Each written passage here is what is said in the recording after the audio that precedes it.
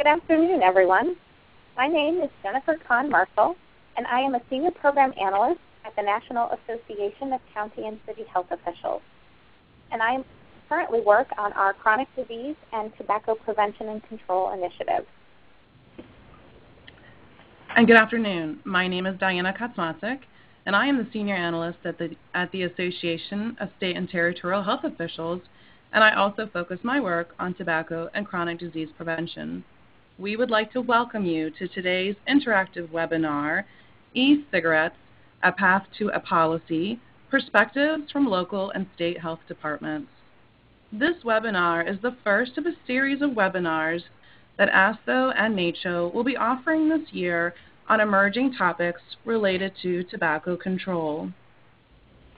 Since the 1964 Surgeon General's report formally established the severe health risks of smoking, the U.S. has made considerable progress on tobacco control. The emergence of novel tobacco products such as electronic cigarettes, however, presents new challenges to both state and local public health agencies. As of this morning, we have 460 registered participants for this webinar, further emphasizing the interest in this topic. During this webinar, presenters will describe policy efforts on a local and state level addressing e-cigarettes. Specifically, the presenters will provide an overview of electronic cigarette products and identify what an e-cigarette is, describe the current status of the FDA in regards to e-cigarette regulation and its implications for local and state health agencies. The webinar will review examples of policies specifically addressing e-cigarettes and describe resources that are available to help state and local efforts. We are delighted to have experts presenting on efforts in the state of Minnesota, Seattle King County, and Chicago. Following our introductions, all of the speakers will present about the various strategies at the state and local level to address e-cigarettes. All phone lines for participants have been muted during this webinar. If you have a question for one of our speakers, please post it to the chat box on your screen at any time during the webinar. These questions will be used during the Q&A after today's presentations. At the conclusion of the webinar, you will be directed to an evaluation survey. Please take a few minutes to inform us about the work you are doing around the topic of e-cigarettes and provide us with feedback on today's webinar. We look forward to hearing your comments. Also, a recording of this webinar will be posted to the ASTHO and NACCHO website in the next few days. These sites are available on the last slide.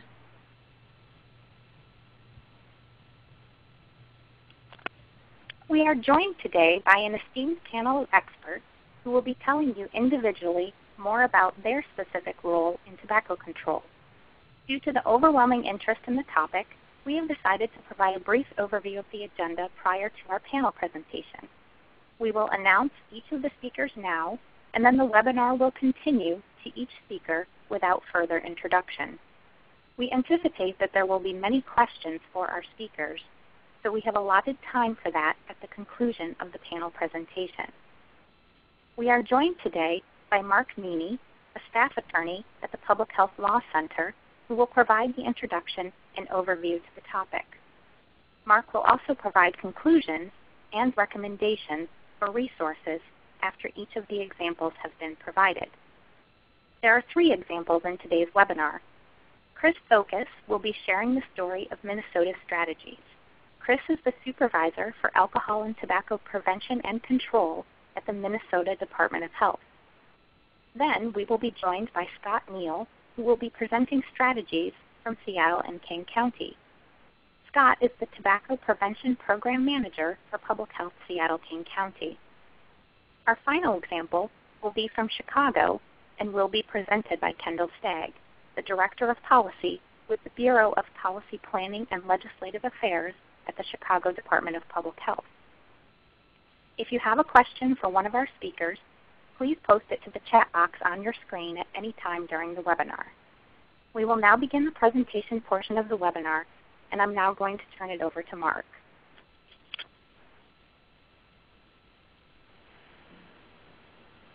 Thanks a lot, Diana and Jennifer, and good afternoon, everybody. Thank you for joining us on this uh, beautiful, cold afternoon here in Minnesota, at least. Um, it sounds like it's snowy in Washington, D.C.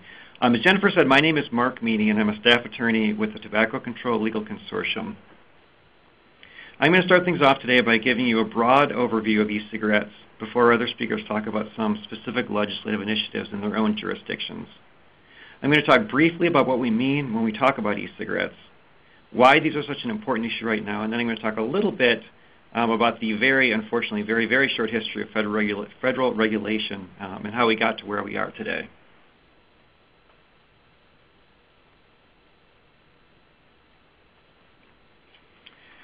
Um, I, I, work at the uh, Tobacco Control Legal Consortium, and we're a network of legal centers, and we provide free legal technical assistance, research, and education on issues related to tobacco and health throughout the country. Our activities are coordinated through our offices here um, at the Public Health Law Center in St. Paul, Minnesota, and we work with affiliated legal centers throughout the country. All right, so let's start at the at the very beginning. I think when I when I talked about e-cigarettes over the past year, both on a personal level and I think with, the audience, it was, it was um, often on a theoretical level. Um, but over the past year, I think it's become a lot more concrete as we've seen e-cigarettes uh, being used in a variety of places, in supermarkets and in, in shopping malls. Um, so I think we've all, you know, we're all seeing them all over the place now. So it's it's um, it's it's become more, um, I think, in our in our own neighborhood. Um, the FDA defines them as battery-operated products that are designed to deliver nicotine, flavor, and other chemicals. Um, that's not certainly a definition that I think we would probably recommend using for um, for your local and state laws, but it's um, it's how the FDA is defining them. Um, and as the as the the um, products have been proliferating, there they don't necessarily fit into one specific category. Um, the other thing we've seen recently is that there are a lot more that are advertised as non-containing nicotine as well, and so we want to make sure when we're drafting legislation that we include all the products that we intend to include.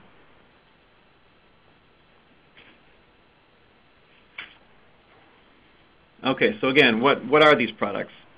Um, for quite a while we thought of e-cigarettes kind of as the product that's in the lower left corner of the screen. That's the one that looks essentially like a conventional cigarette. Um, however, as the market has exploded, no, um, probably poor choice of words, but um, the market has exploded, you can see that many of the products no longer resemble conventional cigarettes. They're just as likely to look like a pen or a flash drive or some sort of a musical instrument as they are a, a, a, a conventional cigarette. Um, over the past weekend, I actually saw a television commercial that was um, for an e-cigarette brand, um, and they were emphasizing the fact that using it doesn't even necessarily look like you're using a cigarette anymore, and that was the primary rationale for the commercial. I think that was kind of interesting because it, is one way to kind of circumvent, I think, one of the key rationales for including e-cigarettes in smoke-free laws, and that's being that they help to renormalize the act of smoking.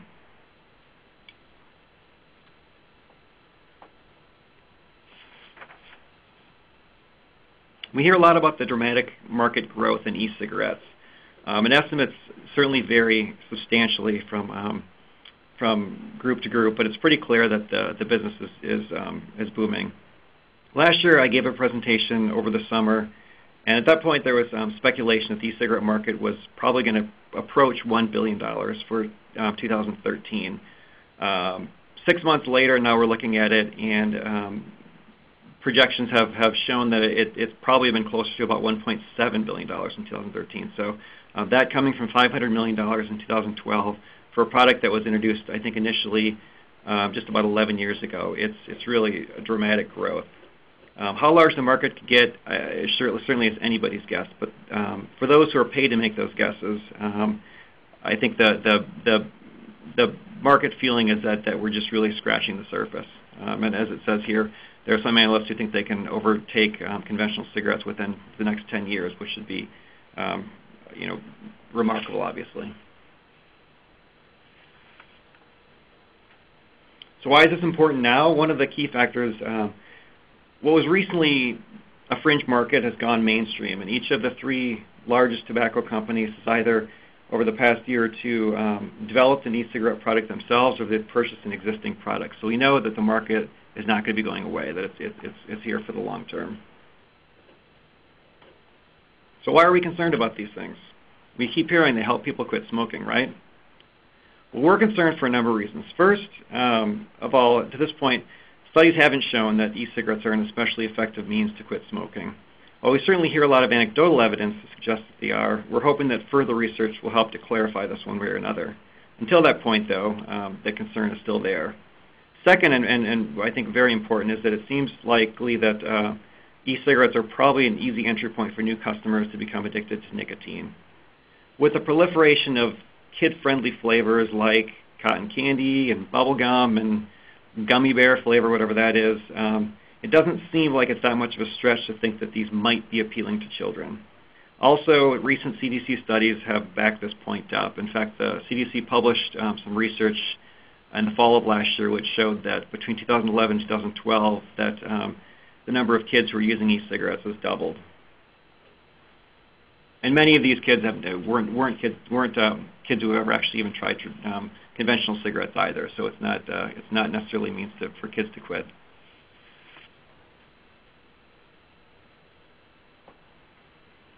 Another significant concern is that we simply don't know what's in the products. There are hundreds of e-cigarette companies producing products that are made that lack any discernible manufacturing standards and they come with spotty quality control. Um, when they've been evaluated, scientists have found varying levels of nicotine along with a variety of carcinogenic chemicals. Um, also, since many of the products are being uh, mixed on site at, at individual vape shops, um, it's much more difficult, if not impossible, to determine exactly what people are inhaling when they use these products. So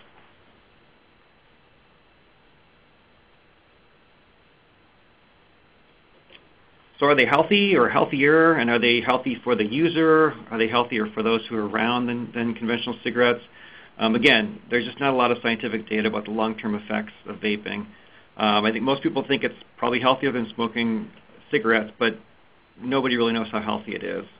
Um, also, since there's a general perception that there are no risks associated with secondhand vapor, but there are some studies that are starting to produce data that could bring this uh, point into question.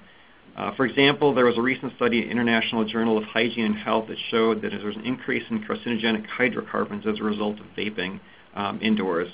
This study was also consistent with some other studies that show higher levels of, higher levels of nicotine um, in each of the products than are claimed by the manufacturers. So again, we just don't know what's in the products. Marketing.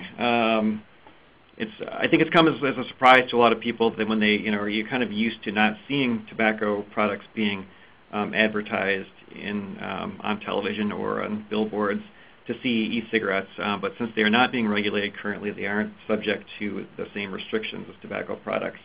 Um, so you're probably seeing ads on television and newspapers, um, using electronic media, places like Groupon that have um, frequently have um, deals for um, electronic cigarette type products. Um, and look at uh, this is one of my favorites, but uh, you know the question is who are they targeting with these with these ads? Um, who does Santa Claus um, want to begin vaping?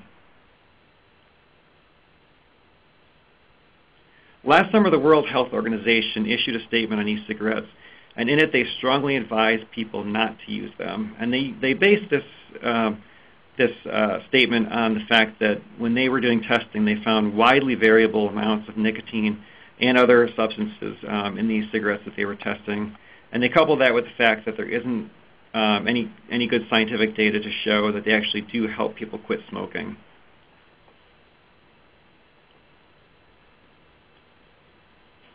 So now we get to the point of regulation. So who is regulating these products? In many cases, that, the answer is nobody. Nobody's regulating them. Um, they're also being regulated often in ways that might not be fully comprehensive. And today, as uh, Jennifer and Diana said, we're going to hear from some experts from three different jurisdictions that have taken some action um, to regulate e-cigarettes and discuss both how and why they took those steps. But first, I want to look briefly at some of the legal and the regulatory landscape that um, allowed us to arrive at the point where we are today. Again, back to our, first question, what are these products? Are they drug delivery devices or are they tobacco products? Um, you know, from your perspective, you might say, who cares? It doesn't matter. They should be regulated regardless. Um, but from a regulatory perspective, this becomes a really important question. Um, and the part of that is, a question of how they're being marketed. And by that I mean, are they being marketed as products that are going to help existing smokers quit? In that case, they would be regulated as drug delivery devices. Um, and if, if, you listen to most of the ads, um, there's a, a, a, very clear intention not to market them um, as such. On the other hand, if they're, mark, if they're um, are these a product that um, is just a healthier alternative to smoking? And if so, then, they, then they're likely more likely to be um, regulated on the federal level as tobacco products.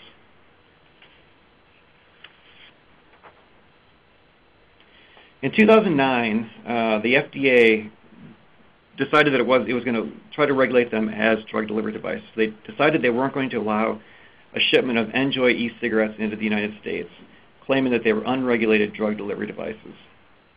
And so they were regulating them under what's called the Food, Drug, and Cosmetics Act. Um, at that point, a, a, different company called Smoking Everywhere sued, and they were ultimately joined by NJOY. And they argued that the FDA did not have the authority to regulate them under this particular law. Um, a district court and then ultimately a, federal appeals court um, upheld the uh, found for the plaintiffs and said that since the products weren't being marketed to have therapeutic purposes, or in other words, they weren't being marketed as tobacco cessation devices, the FDA could only regulate them as tobacco products under the Tobacco Control Act. So it gave some uh, some clear direction that they could be could be regulated as such, um, and now we're waiting.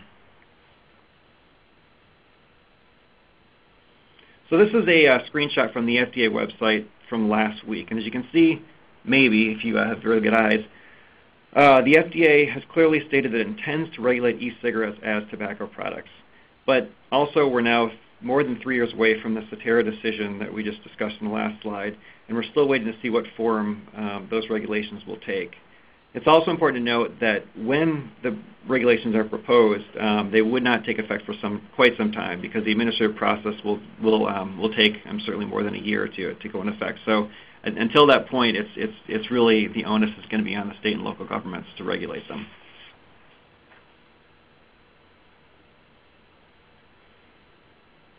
So that leaves us again with state and local laws. At this point, about half of the states have um, laws that specifically regulate um, e-cigarette sales or prohibit sales to minors.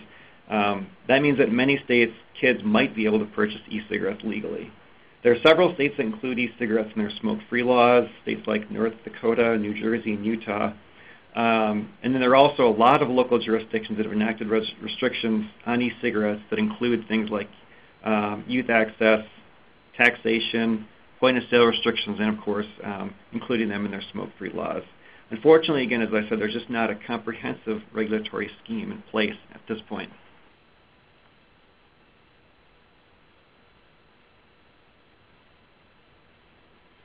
So again, we don't know the answer to most of these fundamental questions. What's the, you know, what's the overall public health impact of e-cigarette use? Um, do e-cigarettes promote cessation and help smokers quit, or are they promoting experimentation or initiation or dual use using e-cigarettes um, as an option when one can't smoke but, but continuing to smoke. Um, we just don't know the answer to the question. Earlier this month, uh, the American Journal of Preventive Medicine published a longitudinal study of young adults in Minnesota, and that showed that a significant number of former smokers, it was about 12%, um, these are former smokers who hadn't smoked in the last 30 days, were reintroduced to nicotine through vaping over the term of the study, which was about one year.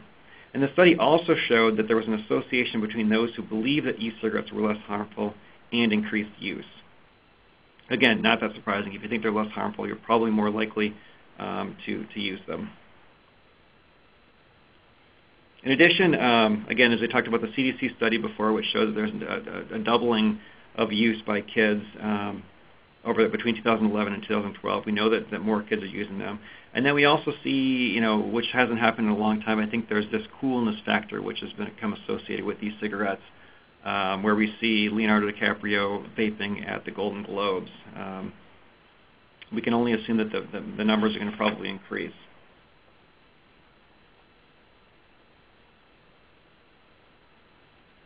So since our other speakers are going to provide some in-depth information related to specific regulatory options, I'm going to just mention a few of the key areas in which our, our offices have provided legal technical assistance, and we've, um, we've been certainly very, very busy um, providing uh, this type of assistance to local and, state jurisdictions.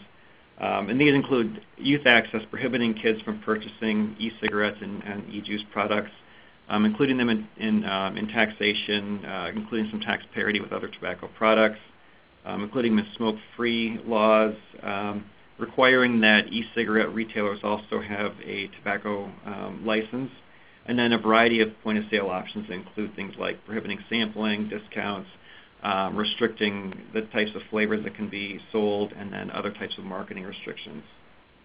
And from our perspective, we encourage you to get assistance in the front end if um, on any type of legislation to make sure that whatever your proposed law is, that it fits in both with your existing legal structure and that the definitions that you're using accurately reflect the products that you're intending to regulate. And with that, I'm going to turn this over to, uh, to Chris Tholkes, who's going to talk to us a little bit about uh, Minnesota. Thank you. Thank you. Um, good afternoon. This is Chris Tholkes, and I just wanted to do a, a quick uh, title update. Um, I used to be the supervisor for the alcohol and tobacco unit at the Minnesota Department of Health, and we've had a little bit of a staffing shift, and we have a new supervisor of that unit, uh, Jean Carl, and I am now the supervisor of the Community Initiatives Unit here, which encompasses our statewide health improvement program, um, which works on reducing obesity as well as uh, tobacco use and exposure. Um, so in Minnesota, I'm going to talk mostly about our uh, experience around taxing uh, e-cigarettes. Um, I understand that Minnesota is the only state that has done that so far. And um, so we'll talk a little bit about that. And um, in that context, um, I would like to mention that in um, 2010, we had the Tobacco Modernization and Compliance Act, which did address um, not allowing minors to purchase e-cigarettes. So um, that was kind of the backdrop, and then we moved into a broader tax campaign. So I will give you a little bit of background on the broader tax campaign, and then we'll kind of hone in on um, our efforts around e-cigarettes. Um, so for the, the name of our coalition, we had a, a large coalition effort with 30 plus organizations working on raising the tobacco tax. Um, raising the tax for health purposes was our primary message. Um, we agreed to um, not take a position on how any revenue should be spent. And so um, we we really had a the a, a, really great strong coalition, and that is um, I think an important backdrop here.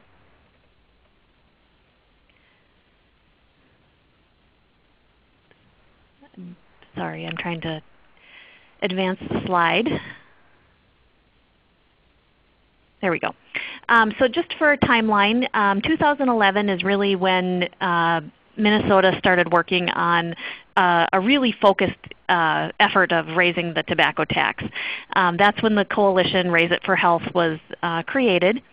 And in 2012, really focused on um, an education year, building awareness, looking for opportunities. Um, then we had this little thing called an election. And 2013 was kind of a, a, new day for us. And the coalition saw an environment that was really going to be conducive. There was uh, public support as well as a change in the legislature. Um, so we really focused in on tobacco tax. Um, the coalition goal was to increase tobacco tax, the cigarette tax, by $1.50 a pack. And um, we had pretty high support in our polling and really tried to focus in on what $1.50 would get us in, in, by way of um, health gains. Um, our governor, Mark Dayton, he was initially unsupportive of, of tobacco tax increase, and um, he was pretty concerned. He, one of the, the concerns that he raised um, frequently was his concern about the tax being regressive. Um, he did not want to impose a burden on low-income Minnesotans. Um, so that's kind of the backdrop that we, we started out with. Um, we were very lucky, and we still are very lucky because he's still our commissioner, but our commissioner of health is um, he's been a long-time champion in the areas of both um, alcohol and tobacco prevention, and he's very well versed, and he's very um, willing to be a spokesperson on our issues. And so we, we had a great champion in our Commissioner of Health. And he really did a lot to educate the Governor. And the Governor has publicly um, in media interviews and in other venues um, really acknowledged the Commissioner as being the, the primary reason that he changed his mind eventually on the tobacco tax and recognizing the public health benefit um, outweighing any of his concerns. Uh, another area in, in, our efforts to educate the governor were really that we have uh, the LAMP program here in Minnesota, uh, the Leadership and Advocacy Institute to advance Minnesota's parity for priority populations. And this is really uh, uh, an effort to create policy champions and um, tobacco health champions, tobacco prevention champions in the populations of color and the LGBT community as well.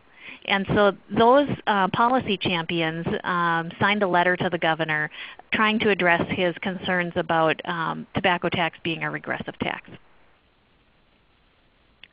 Uh, the results, the, the, governor did say change his mind, and he inserted a tobacco tax in his budget.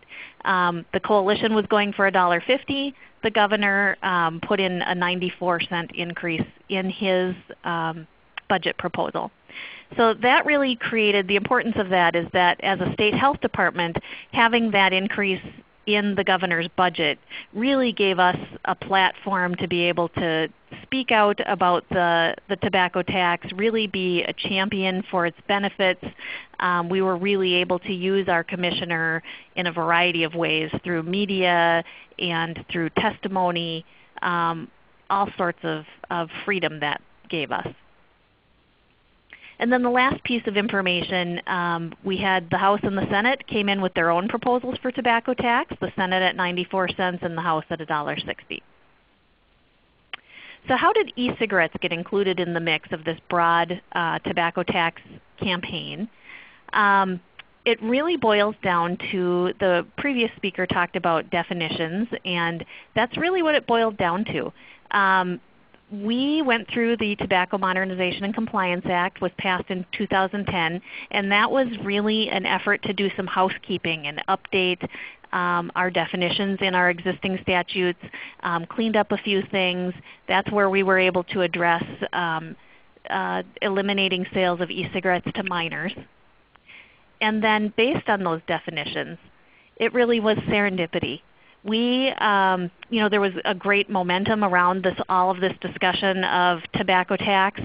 Um, it, we were all over the place. The coalition did a fantastic job getting earned media, social media, um, providing testimony, direct uh, lobbying to many of legislators who had um, specific concerns that we were able to address.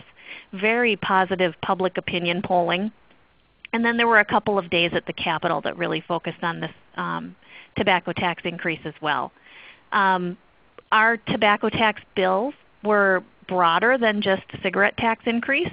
Uh, the bills really focused on um, closing the little cigar loophole. It changed the definition of cigarettes to include little cigars. It created a minimum tax on moist snuff. And it taxed premium cigars. And then lastly, it also increased the tax on other tobacco products. So within that um, area of the bills, uh, the tax on other tobacco products, which we were considering to be chewing tobacco, snus, dissolvables, and then the nicotine cartridges in e-cigarettes. And the proposed um, uh, the legislation ended up um, increasing from 70% of wholesale price to 95% of wholesale price. Um, but this really pointed back to the definition that was in our Tobacco Compliance and Modernization Act. And the Department of Revenue really just picked up that definition. They said this is where people landed, this is the definition they chose, and um, that's what we're going to focus on. And so when you look at our, this is just a snippet of our uh, tobacco products definition. And it included, and where the Department of Revenue really focused in on was the key phrase in the statute um, that established the taxability of an e-cigarette is that it's any product containing, made, or derived from tobacco, and whether it's smoked or inhaled or any component or accessory of a tobacco product. And so that's really where the Department of Revenue hung its hat, and it just went on through. Um, the Department of Revenue, you know, we have done a pretty good job. You know, we we don't work with them on a real regular basis, but I will say that um, Clearway Minnesota, which is our um, tobacco foundation in our state, and the Minnesota Department of Health both had periodic check-ins with the Department of Revenue trying to talk about tax issues, tobacco tax issues. Um, but bottom line, the Department of Revenue applied the solid definition of tobacco products, which included e-cigarettes, to the tax law. Um, so our lesson and takeaway from that was really to do a good job. We worked closely with the Public Health Law Center. Um, Susan Wiseman was the one that we worked with there, but um, really getting a solid definition that um, you know that was 2010, and this carried us through to 2013. So what have we learned since implementing the tobacco tax? Um, we did have a follow-up meeting. I met uh, a couple of us met with the Department of Revenue and had a nice conversation about how's it going um, and how, do, how can we help you um, if you need any help. And what's interesting is that um, one thing that we learned is Department of Revenue does have field auditors. Um, they don't just sit and wait for the tobacco tax checks to come rolling in and for people to pay. They, um, they really just uh, uh, get out there and they do some spot checks and are um, really looking at the inventory that people have and having conversations with retailers who are paying these taxes. And um, a couple of things uh, surfaced. So the Department of Revenue said that they were getting some pushback from retailers saying that the nicotine, um, you know, well as the Department of Revenue went out um, not all of the bottles of nicotine juice were labeled. Many of them just had a flavor across the um, uh, on the label. Um, I've gone into several of the um, e-cig shops and seen the same thing. Some of them do have um, ingredients listed on the, the bottle, but there were several instances where the juice just said cotton candy or espresso. And then sometimes there would be a little line um, where someone would write with a Sharpie 18 mg or 8 mg. Um, and so there was really pretty great variability as far as us knowing what's in them. Um, uh, the other things that people were hearing, the, that the Department of Revenue was hearing as they went out in the field is that retailers were saying, uh, well this nicotine isn't derived from tobacco, therefore it can't be taxed uh, they were actually hearing that uh, the nicotine juice that some folks were um, supplying was derived from tomatoes. Um, and they were giving them product sheets that were very lengthy and asking them to just read this sheet and you'll find out that our product is not tobacco derived. Um, many of the product sheets were not in English and so there were a lot of challenges in the implementation of, um, there are a lot of pushback, I guess, from um, the, for the field auditors. Uh, based on this pushback, the Department of Revenue sort of went back and regrouped, and they did write up an official uh, position that ha has helped them quite a bit. And the Department's position really boils down to e-cigarettes are subject to the tobacco products tax. The cartridge containing nicotine is a component of the e-cigarette. The cartridges contain nicotine, which is ordinarily derived from tobacco and is used by a person uh, by smoking or inhaling them. And the Department assumes that all nicotine is derived from tobacco and the taxpayer will bear the burden of proving otherwise. And so it really kind of turned it around to say, um, you know, I'm not just going to believe you that yours is derived from a tomato. You're really going to have to put together some kind of documentation.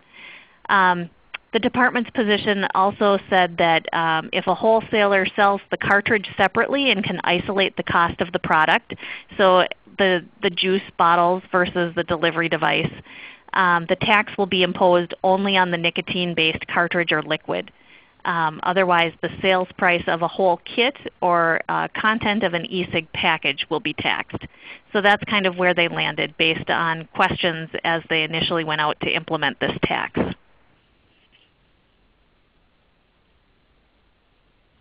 Um, you know, there's been ongoing discussion in Minnesota about regulation of e-cigarettes. We get lots of questions coming in um, to the department every day. I've taken a couple of calls from people who um, identify themselves as juice mixers or juice manufacturers, um, people who are expanding their business from um, putting these products together in a, a garage to actually uh, developing in a warehouse.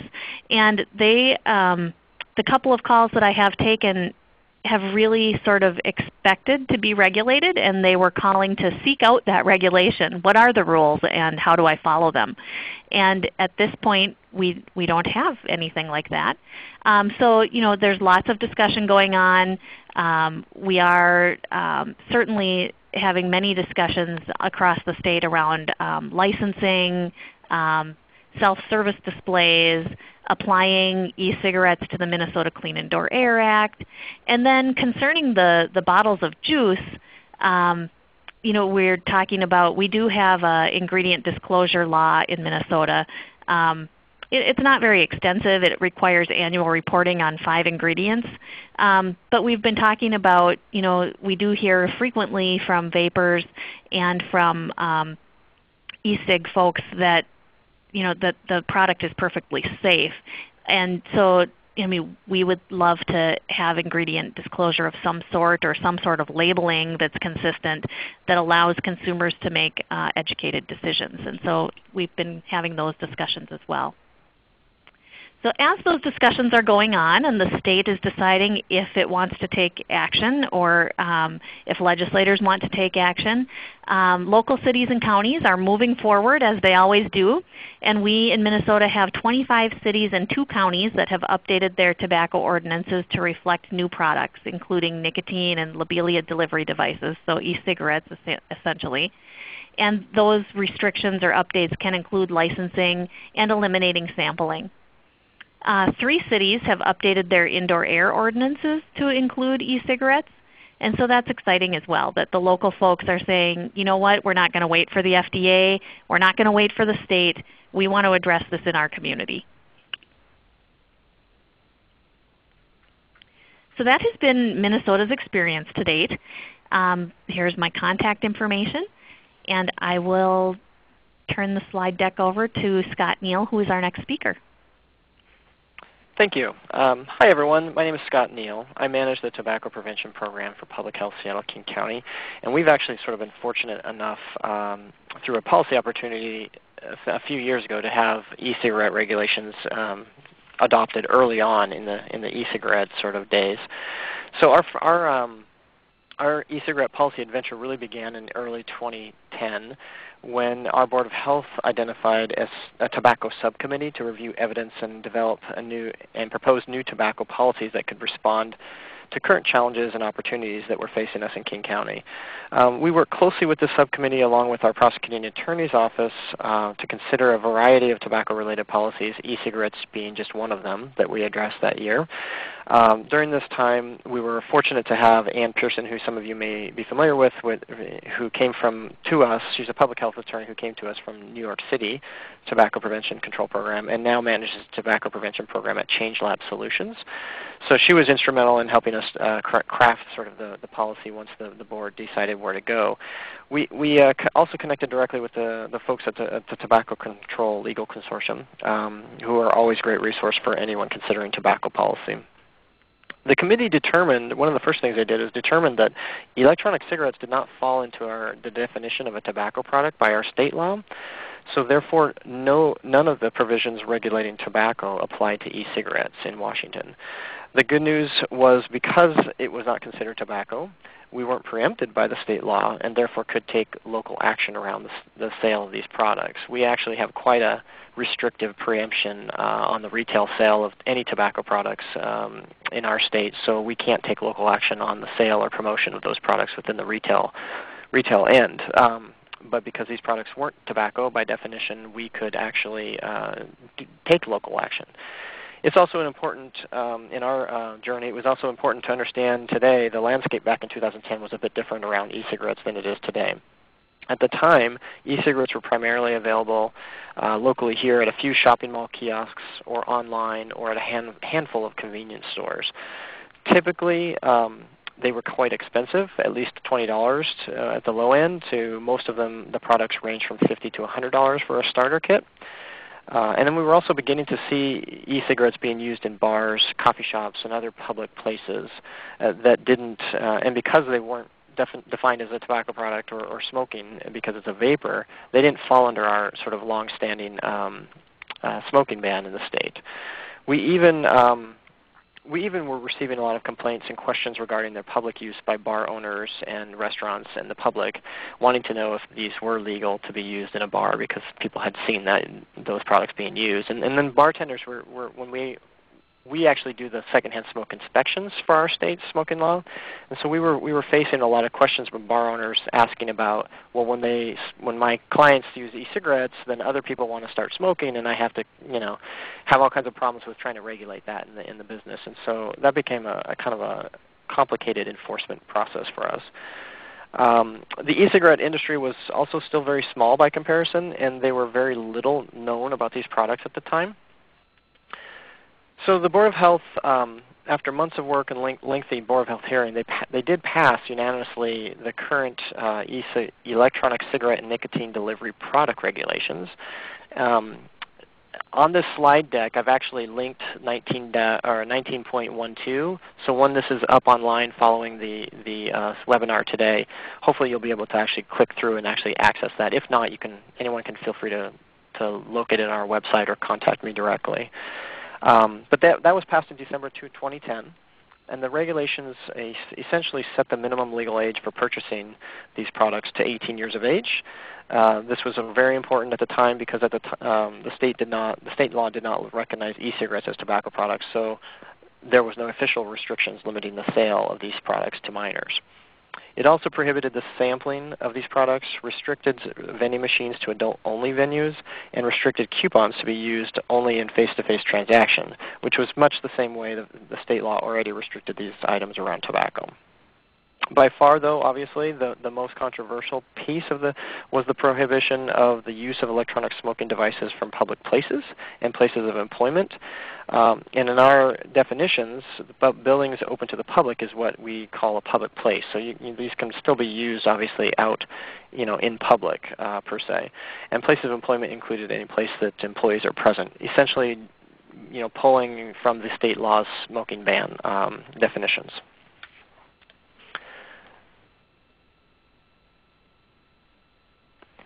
So although there are a lot, lot more e-cigarette users and proponents today, I do still think there's still a lot of uncertainty around the e-cigarettes. The FDA still has not taken action on, to regulate these products, and none of these products have been FDA tested or approved as safe and effective cessation devices. So I think that there is still an ample opportunity to take local action to address the, the sale and use of e-cigarettes. Um, when we did this, we did learn quite a bit, so I'll go over some of the lessons learned. Obviously, one of the items that has been shared already today a couple of times uh, was around definitions. And I can't stress this enough. Good definitions are key to a successful regulation. There are a wide variety of electronic smoking devices on the market today and likely even more tomorrow. Many of these products don't even resemble a traditional cigarette any longer. Um, and you will you, you all will fare best if you keep the policy rationale focused on preventing youth access and use. For instance, youth access to e-cigarettes can at least lead to a lifetime nicotine addiction, and at worst, uh, could lead towards traditional tobacco products, has been has been discussed already today. Um, a focal point should be on preventing uh, initiation directly from you know, sales promotions, but also could include keeping the social norm gains we've seen from smoke-free laws in many of our states or local jurisdictions. If you do take up the issue of public use res restrictions, be sure to make it clear that restricting the use does not equal banning the product. That was something that was brought up during our hearing quite a bit by e-cigarette proponents and users, and that just simply is not true. Uh, folks can use the product just like they can uh, cigarettes as well these products can still be sold and used in public places, or just not used in public places or places of in, in uh, places of employment. Uh, one thing to remember is that you're going to expect to get vocal testimony from a variety of e-cigarette supporters. Even back in 2010, we had a representative from the Consumer Advocates for Smoke-Free Alternatives Association show up and testify. They support youth restrictions, as do many proponents, but do not tend to support the use restrictions in public places or places of employment. Their testimony, along with everyday users that swear that they've quit by using e-cigarettes, will, will tear at policy heart, policymakers' heartstrings um, and expect uh, people to testify and ask the question, why restrict one product, the one product that has saved my life? I mean, we heard that a lot the, during the hearing. So our advice was to make sure that to anyone who's maybe considering these type of restrictions would be to make sure that you've got your proponents uh, coming to the table as well to, to share the, the benefits and need for this in, in your community. Um, our Board of Health ultimately did decide to use a precautionary principle to adopt regulations to protect public health since the product contents and the sale and promotion was not regulated and still is not by the FDA. Um, and I recognize that passing the same re restrictions today may be even more controversial today given the, the widespread use of these products and growing e-cigarette industry. However, I do think that, um, that that whole issue can be spun around and used in your favor. Three years ago, big tobacco was on the fringe of jumping into the e-cigarette movement, and today all major manufacturers either have or will soon have products available on the market. And in fact, it's no surprise that the advertising and marketing techniques that they are using today mimic those that they used decades ago with traditional cigarettes. So while there may be some significant opposition to e-cigarette regulations, many jurisdictions are successful at adopting them. And um, I think we'll hear next from um, Kendall Stagg from the Department or Chicago Department of Health. Thanks so much. I appreciate it. Um, real quick housekeeping issues before I start. Um, I am a licensed attorney, but I have to disclose that I am not your lawyer and that nothing in my presentation is legal advice. And if you have legal questions, you really should consult with your own lawyer. Um, also, I am not a doctor, and nothing in this presentation is medical advice. If you have questions about your health, consult with your doctor. So that being said, um, I'm really excited to share with everyone today that we had big news in Chicago last week. Um, the city of Chicago overwhelmingly passed an ordinance to regulate e-cigarettes. The vote was 45 to 4. Um, the passage of this ordinance took several months. It was a hard-fought battle. Um, it certainly, I think, was probably more difficult than what Seattle went through just because um, there are so many e-cigarette users now, and they were very organized. Um, we hope that by sharing our story uh, with you today, that other cities and towns can learn from our experience and successfully pursue similar strategies. Um, let me start off by giving you a quick summary of what we did in Chicago. Um, right now in Chicago, because the new ordinance has not been implemented yet, cigarettes have to be behind the counter, out of the reach of children. That is not true of e-cigarettes. Right now in Chicago, stores have to have a special license to sell cigarettes and other addictive tobacco products. That is not true of e-cigarettes. And in Chicago, retailers that sell cigarettes to kids can be fined or have their license revoked. Again, these penalties do not apply to retailers who sell e-cigarettes to kids. And in fact, if we found someone knowingly selling uh, e-cigarettes to children, we would not have the legal authority to revoke their license. Um, the new uh, ordinance in Chicago on e-cigarettes that just passed last week will fix all of these problems. The other thing this ordinance did is it includes e-cigarettes in the Chicago Clean Indoor Air Act. What that means is that their use is going to be limited in most indoor areas and cannot be used within 15 feet of building entrances.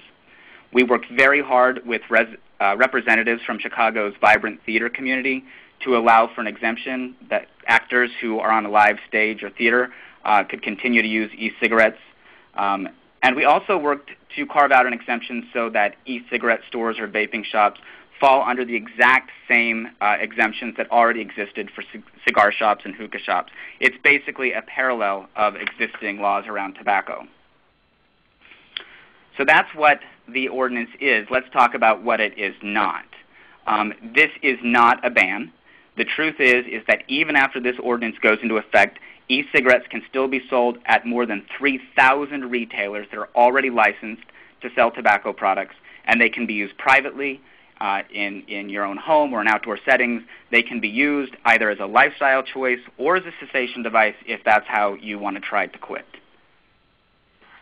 Um, even opponents from Chicago's uh, uh, excuse me, even opponents of the new ordinance in Chicago um, ultimately seem to agree that it was necessary to protect kids by regulating the sale and distribution of e-cigarettes. So today I'm going to focus most of my time discussing the rationale for including e-cigarettes in the Chicago Clean Indoor Air Act. And specifically, I'll talk about three different concerns. One, that e-cigarette vapors are not risk-free. Two, uh, normalize or renormalization of smoking. And three, how e-cigarettes impact enforcement efforts of the Chicago Clean Indoor Air Act. Unlike uh, other cities that easily passed restrictions on e-cigarettes, um, I, I, do think that our experience here in Chicago was not so easy. Um, we can talk a lot about how these products are different from combustible cigarettes, but what was really not different for us was the ferocity of the debate. It was very similar to the very vigorous debate and tactics that we experienced when we first passed the Chicago Clean Indoor Air Law. Um, I, I, just I can tell you lobbyists and, and, and vapers absolutely inundated City Hall. And their favorite talking point was that e-cigarettes are, quote, safe, and that vapor comes, uh, coming out of the e-cigarette is just water vapor.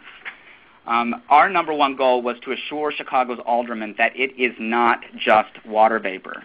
The vapor from virtually all e-cigarettes contain propylene glycol, which is a known respiratory irritant, and when oxidized, the propylene glycol can create formaldehyde and acetaldehyde. Excuse me, acetaldehyde. I need water. Hang on just a second. We also discussed with Chicago's aldermen that laboratory tests have confirmed vapor from e-cigarettes contain things like glycerin, tiny pieces of tin particles, aluminum, iron, nickel, arsenic, copper, lead, carcinogenic compounds, and volatile organic compounds all of these things can be harmful to your health, and that's just the tip of the iceberg. It was actually impossible for us to list all of the chemicals and health concerns associated with these cigarettes onto just one slide. So instead, uh, our health commissioner, Dr. Bechara Choucair, would use word maps like this one to paint a much more accurate picture for Chicago's aldermen. During committee hearings, we went armed with written testimony from the Campaign for Tobacco Free Kids, as well as the American Academy of Pediatrics, and their testimony did cite numerous academic studies that raised serious questions about the safety of e-cigarettes. We also provided Chicago's aldermen with a literature review that illustrates it is not just water vapor. Opponents were finally forced to admit that it's not just water vapor, but they cried foul and they argue that these substances only appear in small amounts. And let me just say right now, they're right. They're absolutely right, and I am absolutely confident that e-cigarettes are indeed safer than combustible cigarettes. But the truth is, you could say that about every single consumer good on the market. Any consumer good, when used as directed, is safer than a combustible cigarette. That does not mean it is risk free, and safer is not the same thing as safe. Sadly, this really was the kind of debate that we had last week, though, in City Hall. Another favorite talking point is that e cigarettes do not appear to present an immediate significant health hazard when inhaled. Some people even tried the e-cigarette right there in City Hall and then proclaimed, I feel fine. So, again, our health commissioner, Dr. Bechara Choucair, had to explain that just like when smoking first became popular, the use of combustible cigarettes did not appear to present a significant health hazard. Just a few decades ago, doctors even endorsed cigarettes in advertisements and took us 15 to 20 years before we discovered the direct link between smoking and lung cancer. The health commissioner had to explain that this is known as a latency period, and the truth is that we could very well be in a latency period right now. We simply do not know the long-term health effects of inhaling propylene glycol or any of the other substances contained in e-cigarettes. Commissioner Choucair also had to explain that e-cigarette vapors have been found to contain volatile organic compounds that are hazards to health. These compounds, when found in almost any other product, are usually regulated by law and especially indoors but that is not true of e-cigarettes. And the harmful volatile organic compounds typically found in products are not acutely toxic. But just because something is not acutely toxic does not mean it is safe. Volatile organic compounds have compounding long-term health effects, and because the concentrations are usually low and the symptoms are slow to develop, research into these compounds and their effects is difficult. But let's be clear, these chemicals are far from water vapor, and emission of these chemicals into the air is concerning, and it did concern the Chicago City Council. We also had to refute that pollutants coming from e-cigarettes are always less than tobacco smoke. Well, I actually think that is true. Um, some e-cigarette vapors contain more metals than tobacco smoke. One study found that concentrations of aluminum, iron, nickel, and sodium were higher in e-cigarette aerosol than in regular cigarette smoke. The same study found that e-cigarette aerosol contains equal concentration of uh, chromium, copper, magnesium, and lead as regular tobacco smoke. While the concentration of these chemicals are usually less than in tobacco smoke, we still maintain that these vapors are a new source of fine particles in the indoor environment, and continuously breathing air that contains fine or ultrafine particle matter is a health concern. And for that reason alone, the Chicago Department of Public Health maintains that until more is known about these products, e-cigarettes should not be used in public places, restaurants and bars, or in private office buildings where people have to work. It's also important for us to point out that many of these products are made overseas, and regardless of whether they are made here in the U.S. or in China, there are absolutely no restrictions imposed on the types of chemicals or ingredients that manufacturers can use or cannot use, and there are no restrictions on the kinds of chemicals e-cigarettes can emit into the indoor environment. Limiting their use, especially when they remain unregulated by the FDA, is just good common sense. There are also serious problems with quality control, which I think we heard earlier, and accurate labeling. But I'll go over this slide just because it does provide a citation for some folks to look up. Uh, e-cigarettes contain various levels of nicotine concentration, and manufacturers do not always accurately label the amount of nicotine in their products. This recent study of 35 major brands found that only 10 of the brands had labels that accurately listed the amount of nicotine delivered. Other research shows that this variation can occur even within the same brand. Some e-cigarettes claim to be nicotine-free, yet have been found to actually contain nicotine. Last week in his testimony, my health commissioner, Bechara Choucair, also pointed out that as a physician, he finds this variability very alarming. Something that is billed as a cessation device should never have this kind of product variability. Unfortunately, this kind of variability occurs because these products are completely unregulated. The variability of nicotine levels in e-cigarettes is also alarming because a very large amount of nicotine can produce negative health problems, including nicotine poisoning. The FDA has received some reports of adverse events related to e-cigarettes, and poison control centers are also reporting an increase in cases of nicotine poisoning. Of course, as I mentioned before, the other side hired uh, lobbyists and they inundated City Hall and they presented very conflicting information, which made policymakers, I'm sure, feel very conflicted about the science. No doubt, I agree that the body of evidence is not as robust as any of us would like it to be, and it will probably be many more years before we reach scientific consensus. Because there is no scientific consensus, at least not yet, in Chicago, this issue really boiled down to a question of credibility. Ultimately, Chicago aldermen were asked who they trust do you trust uh, doctors, some of the most trusted names in health and medicine, to provide you and your constituents with important health information?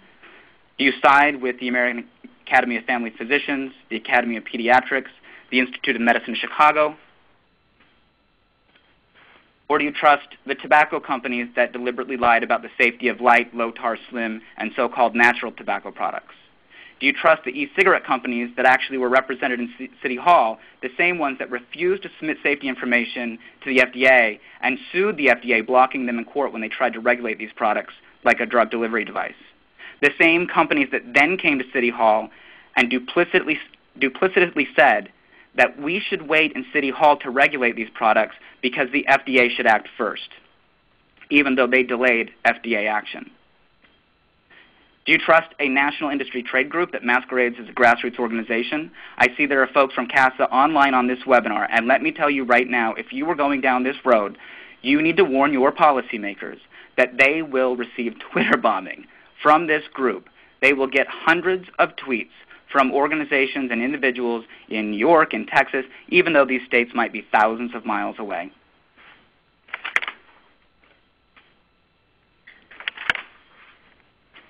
Of course, I work for a health department, and so it's no surprise that we side with the most trusted names in health and medicine. But in case there is any question left in anyone's mind, you can take the e-cigarette industry at their own word. NJOY and MarkTen have warning labels on their product that identify them as, quote, toxic when inhaled. Both companies also have warning labels that clearly state this product is not a cessation product and has not been tested as such. Metro e-cigarettes has a very similar warning. In addition, Metro also has warnings that say, quote, vapors may cause drowsiness or dizziness, and if you feel unwell, seek medical advice. And this product contains a chemical known to cause birth defects or other reproductive harm. With warnings like these, it really is difficult to believe the industry is saying that there's absolutely no cause for concern. The truth is these vapors have not been proven safe, and there's more evidence to suggest that protection of clean indoor air is warranted. The other uh, reason, the second reason that we gave uh, to uh, our City Council for including e-cigarettes in the Chicago Clean Indoor Air Act is renormalization of smoking. We are very concerned that the widespread use of e-cigarettes is indeed renormalizing, if not flat out glamorizing, smoking. On the floor, just before a final vote uh, took place, Alderman Moreno shared an incredibly touching story about what changed his mind on this debate. He told us that his daughter could not stop staring at a vaper in a restaurant, and that he tried to explain to her that this was different. No matter how hard he tried, he could not explain to her in a way that she could understand, and his daughter continued to stare. He asked what message this sends to children who probably do not understand the difference, and I'll tell you, it really was powerful testimony. And the third rationale for including e-cigarettes in the Chicago Clean Indoor Air Act is that these products have the potential to undermine our existing clean indoor air enforcement efforts. Because they were intentionally developed to mimic the act of smoking, it makes enforcement of the Clean Indoor Air Law more difficult. In Chicago, we had restaurant owners provide testimony in favor of the ordinance. They openly admitted that it was confusing and that bartenders and waiters and bouncers sometimes do have difficulty telling these products apart, especially from across the room. The restaurant industry also emphasized that they want to focus on providing an enjoyable dining experience rather than being relegated to mediating discussions of patrons being placed near other patrons using an e-cigarette. I imagine this is why many Fortune 500 companies like Starbucks and Marriott have made a decision, a business decision, to not allow e-cigarettes on their premises, and why numerous airlines are making business decisions to voluntarily begin announcements on their flights that no smoking is allowed, including e-cigarettes. Although these companies were probably not thinking about health when they made these business decisions, I do agree with their assessment. Ease of enforcement is a serious concern, and Chicago's new ordinance on e-cigarettes is both good for business and good for health. In Chicago, the other favorite talking point for people who opposed regulation of e-cigarettes was that they are helpful in smoking cessation, and that we are regulating a helpful product right out of business. First, let me say that we are skeptical that something flavored like cotton candy is a cessation device. And their own ads and product labels make it clear these devices are not for quitting. The truth is, for every study that suggests e-cigarette aids uh, can help with cessation, uh, there's more studies that claim that the products are being used as a bridge or dual-use device a product that allows cigarette smokers to continue to smoke in places where it's prohibited, which impedes with tobacco cessation efforts. And worse, there's mounting evidence now that these are indeed starter products for kids. When the FDA asked the industry to submit documents on product safety, they sued. So far, e-cigarette companies have not provided any documentation regarding product safety or whether these products are a good cessation device. The truth is we simply don't know.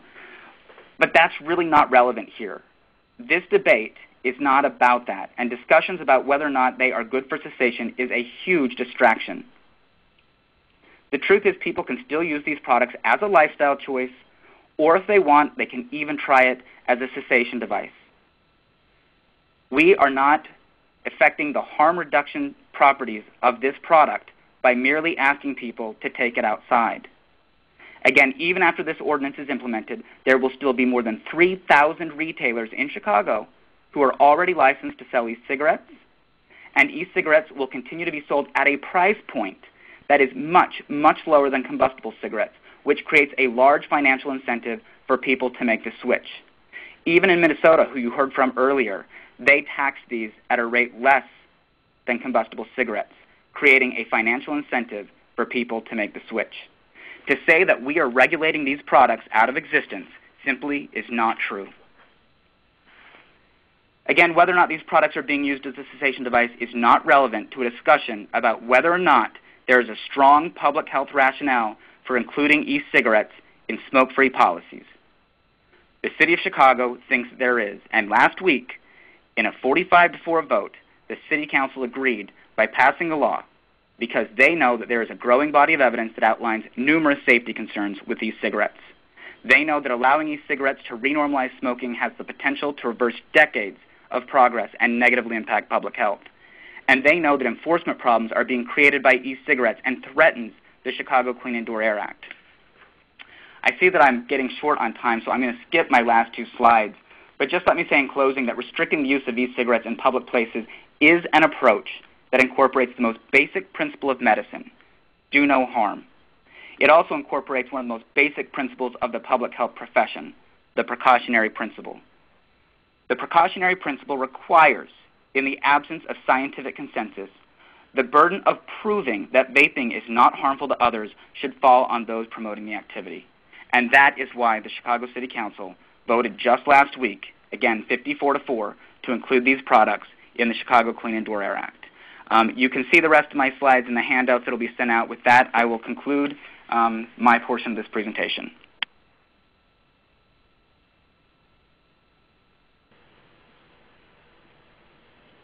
Wow, well, thank you very much, Kendall and Chris and Scott. Uh, that was really interesting. I think everybody appreciates hearing, um, you know, the, the, the, stories firsthand from the from the local level and and uh, the policy rationales and um, and the implementation strategies. Um, I don't have much to add to it um, in conclusion here, but I thought I would just just run through um, some key issues from our perspective as we, you know, provide legal advice or legal technical assistance, I should say. Um, uh, to state and local governments as they're implementing policies. Um, and much of these, I think, are, are, are almost redundant from what um, what our speakers went through and, and described today in much much more detail.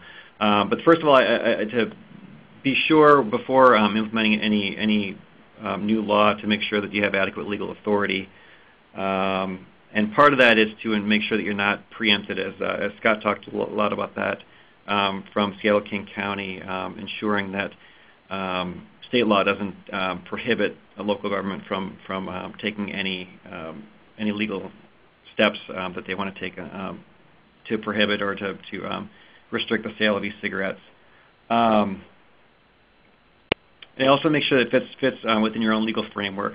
Uh, most important thing, and I think this is this kind of ran through everybody's uh, presentations today, is to make sure that you have very, very clear definitions and concise language, um, ensuring that you are regulating exactly what you want to regulate. And I think Kendall talked a lot about this um, in his presentation. Um, you know, some of the things to think about are if you're if you're restricting um, definitions to, to solely nicotine-based products, how that would work when when it comes to enforcing if, for example, it's in a smoke-free law, um, how the the enforcement um, entities on the ground level are going to be able to make that determination whether something includes nicotine or not.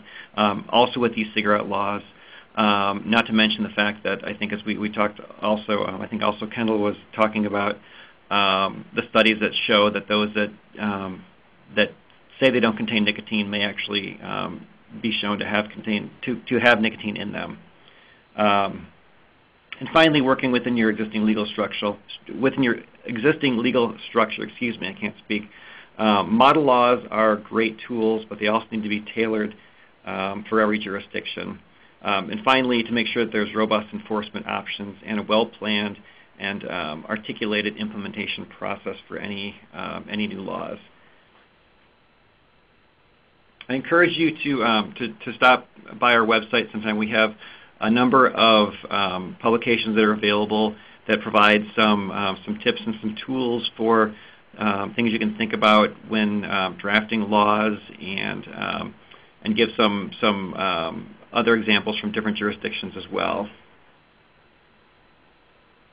My information is here. You can feel free to contact me um, and my colleagues here. We do a lot of work on this, and we'd be happy to talk to you Um, you know, again, as I said before, we, prefer to talk in the front end as much as possible um, to, to give some, be kind of a sounding board for what we think are, are um, the best ways to draft different kinds of, laws. So with that, I want to thank everybody for your time, and I'm going to turn this um, back over to Jennifer for some question and answer, I believe. Great. Thank you, Mark. And thank you uh, to all of our speakers today for such great information that you shared with us all. I think uh, one thing that I would like to say is that we know we have a lot of questions that have come in during the presentations today. And we just would like to let everyone know that to the extent that we uh, are able, if we don't get to your question during the um, presentation today, we will try to answer as many as we possibly can through a Q&A document that we will put together after the call. So thank you. So at this time, we'll begin the Q&A session. If you would like to ask a question, please type it into the chat box located on your screen. And we have a few questions that have come in already. So one of the first questions that I'd like to um, address, actually Mark, this is just in reference to some of the slides that you had up at the beginning. Were your statistics just referencing uh, the United States or those worldwide statistics? Uh, the, well, the, the, CDC would be from the United States, and I think I had another um, study that was on just Minnesota um, young adults. So nothing was worldwide, okay. um, except for anything the World Health Organization came up with. That wasn't from, that didn't include actual numbers or anything. Okay. Great. Our second question that we have today is actually for Chicago, actually, and we were the uh, person was just wondering, what's the one thing that you wished you knew prior to beginning work on your e-cigarette ordinance? Honestly, I think the one thing that we wish we would have known is just how vigorously um, the other side would be working against this. Um, we, again, we tried to find middle ground. We gave exceptions for vape shops. Uh, honestly, I'm not sure that I think that we think that that's a good idea um, but it was a compromise. Um, it, we questioned, frankly, whether or not you know creating a, a, a vape shop where people can go in and have you know coffee and desserts and, and vape is is really something that should be happening for something billed as a cessation device. But it doesn't matter. We give that exemption to cigar shops. We give that exemption to hookah lounges. And so we thought that we would definitely need to give that exemption for a product like this that is truly, um, you know, less harmful than a combustible. Um, despite our attempts to come to the middle and find middle ground, there was no middle ground. They are extremely organized, um, and they will oppose your ordinance uh, no matter what concessions you give. And folks really need to be prepared for that. Uh, we honestly were not prepared. Great. Thank you, Kendall.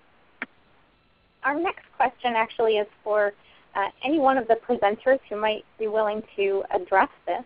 Um, there's been a lot of talk about uh, restaurants in particular, but how about public transportation? Uh, do any of you have any experience with rules being established for the use of e-cigs on buses or trains? Any um, experience dealing with that?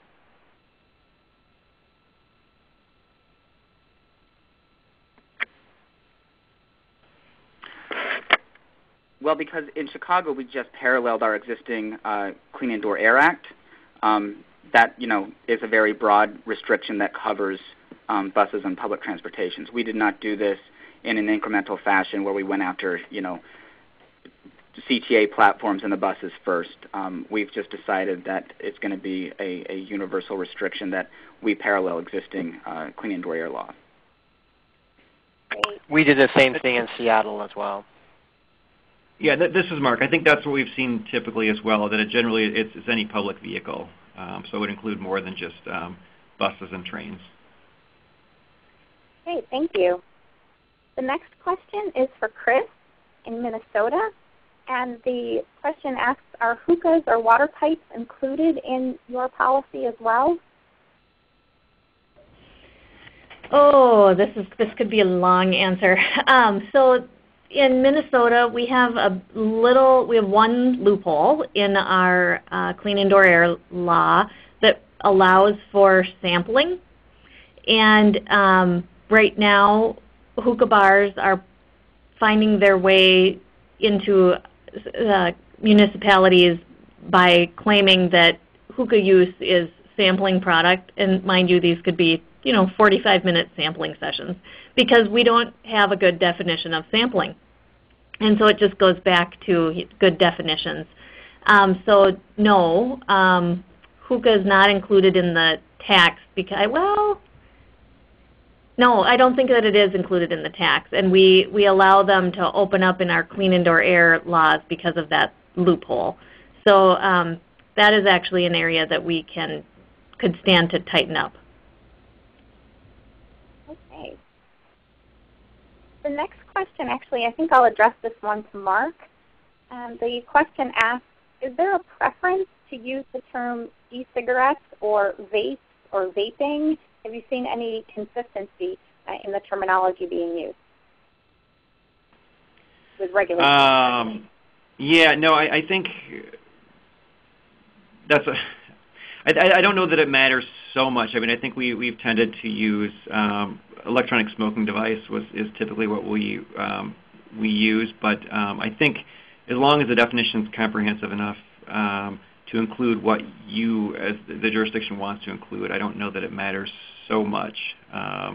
But we try to keep it a little bit broader, I think, and I think that the term, you know, vaping. Uh, you know, I, I think vaping actually, if you if you look at it in the dictionary, I'm not even sure that's that it's considered to be an actual word um, a verb. So um, that's for that reason. I think we've we've we've tried to use electronic smoking device or something like that. But you know, it's it's it's all in how you define it. Okay. Uh, the next question um, has to do with uh, looking at underage sales in states without bans for minors laws. Um, in particular, um, this question says that they get a lot of questions from their uh, legislators so they're asking if there's any proof of underage sales in states without bans for minors laws. Uh, Mark, I guess I'll address this one to you first. You, yeah, no, I think that's, that's a good question, but but no, I mean because it's not there's there's nobody tracking it, so there wouldn't be any way to have any numbers on it. But the fact that it's that we know that that uh, minors are using them throughout the country, um, it sort of just stands to reason that if um, if they're legal, that they would be or could be purchasing them. Uh, but no, we, there's no. I've not seen any studies personally that um, has tracked that because states don't have. I don't think at this point they have the incentive to expend the resources to study that. Okay. This is Scott in Seattle. We actually have a, another county on the eastern side of Washington that back in 2010, about the same time that we were working with our Board of Health, they actually sent youth out to e-cigarette retailers. And I don't have the exact numbers, don't quote me on this, but it was overwhelming majority of those that tried to buy were, were successful. Um, and that's just obviously one snapshot in time, but it, it's concerning when you look at the CDC numbers of, of youth use going doubling in one year. So the next question we have is for Chris, and this is another uh, question about your uh, definition. Did your tobacco and nicotine definition include nicotine delivery devices? Um, for example, FDA-approved cessation devices such as gum, patches, lozenges, or inhalers. Um, I'd have to look at the exact language. Those are those are uh, addressed. I don't believe that they're I believe they're exempt from the tobacco law, the tobacco tax, um, and are taxed in another category. Um, but it's not, it is, they, we explicitly speak to those. Um, what I showed in my slides was just a snippet of our definitions, and those products are called out separately as not taxable as because they're not considered tobacco products. Great, thank you. So this next question uh, is, um, the question says, in regards to electronic cigarette usage, what advice would you offer for employers that have tobacco-free or smoke-free hiring policies? Uh, so I'll address this one first to um, Kendall in Chicago. Do you have any thoughts on that? That's a really tough issue. Um, I, I, my department does not have a, a position on that. Okay. Mark, do you have any thoughts on that question? well, I, I guess I, I, echo Kendall. It, it is. It's definitely a tough issue, and I think it, it depends on, on um, what the workplace, you know, what the employer wants to do. I mean, there's certainly, you know, it it would it sort of a multifaceted question. I think um, anytime you get employment issues involved, uh, but if, if there is an existing tobacco-free workforce policy, um, it would certainly um, depend on how that's written, what how tobacco is defined, I guess, in the in, in the workplace policy. Um, but I think in, terms of enforcement, I think regardless of whether it would be you know effectively prohibit the use of e-cigarettes, that um, it should be you know really clearly um, communicated to any employees before any action is taken, so that there's you know there's there's a, clear understanding um, of what the expectations are and what the, feeling is regarding the policy and how it would be uh, take effect. Um, but yeah, I think I think that's that would that would be a, I think that would be a, a it's a it's a robust question. I, would probably need more time and probably um, uh, more information about the specific set of facts in order to give any um, any thoughts on it. Okay. The next question um, asks, so Minnesota and Chicago both had their health commissioners as significant champions but Scott, um, could you um, talk about the level of involvement with the commissioner in Seattle? Yeah, I mean, our health health commissioner, health director, is our our public health di- director. He's our health officer and public health director, and he, you know, he was a champion, of course. But really, where it, the support came from the tobacco subcommittee, which was made up of members of the board of health, and it did include one of our administrators of the public health department as well. But but primarily the, the, it was the tobacco subcommittee that was interested in moving policy forward, and our director did not have to really chime in too much. So for Seattle, it sounds like the the committee had a large role. I'd be interested to know, um, both for Minnesota and Chicago, um, were there other local champions that were instrumental in your efforts? This is Chicago. Um, what I would say is certainly um, my health commissioner, uh, Dr. Bechara Choucair, has been quite a champion on this locally and, and even nationally. Um, he speaks about this issue. But also my mayor, um, Mayor Rahm Emanuel, was an amazing champion on this. Uh, and I, I would be remiss if I didn't point out the health organizations, a pretty broad coalition of health organizations that rallied around this um, including representatives from the African American, Latino, and Asian communities. Um, it was a broad coalition approach that got us to where we were last week. And Chris in Minnesota, any particular champions that you had that assisted in your efforts? Yeah, so we, I mean, we had a, a coalition, the Raise It for Health coalition um, was very diverse, over 30 organizations. Um, we had many physicians. We had um, students. We had youth. We had um, all of our voluntary organizations. Um, so the, it was a very broad tax effort. Um, and I would say that equally on the, the, in the discussions of pursuing additional regulation of e-cigarettes, um, we've got the same statewide coalition, so we're, we're very uh, fortunate to have many strong organizations at the table. Great. So we have time for one last question, and this last question actually has to do with the um, enforcement of some of these particular policies. Uh, Chicago, I know your policy hasn't gone into effect yet, but uh, Scott, perhaps you might be able to talk a little bit about um, how this particular policy is enforced. Sure. We we've already when it comes to the public use piece of it, we've already were involved in the enforcement of our smoking ban. So the enforcement is is really done the same way. I mean, we we take the complaints, we respond to them, and then uh, go out and do an inspection just like we would if it was um, uh, smoking. Great this is Chicago. I would just add to that that one of the hallmarks of a good smoke-free policy is that it'll be one that is self-enforcing. That's what makes these policies work so well. And frankly, that's one of the primary arguments for why we should be including e-cigarettes in our smoke-free policies because it helps eradicate the confusion that then chips away at self-enforcement, which is so important to our smoking bans. I would like to echo that too, in that we, although we do active enforcement, it is complaint based, and typically, you know, when we first did the, the smoking ban went into effect, there was hundreds and hundreds, almost a thousand complaints. But today, you know, and, and sort of every year, it's kind of stabilized at around 150 to 200 complaints a year, which is not very many for a county that's almost 2 million people. And I'll just open it up to our uh, presenters. Any last comments that you'd like to make? Thank you for the opportunity. All right.